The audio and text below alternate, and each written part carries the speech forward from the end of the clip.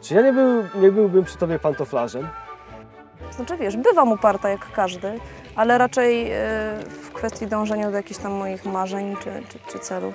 Nie jest to e, jakieś takie uciążliwe, bym powiedziała. Czuję y, to, że ona mogłaby być moją dziewczyną. No chodź. Ojej, O, jaka fajna, długa... O, piękny.